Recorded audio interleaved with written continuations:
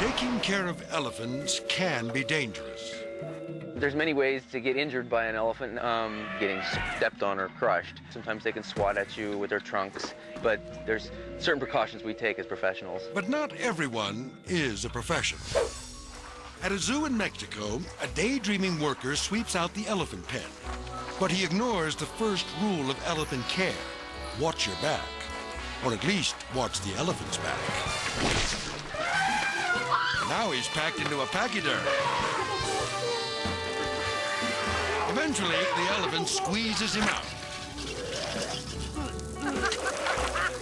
Thanks to this butthead's stupid behavior, it's a day he'll never forget.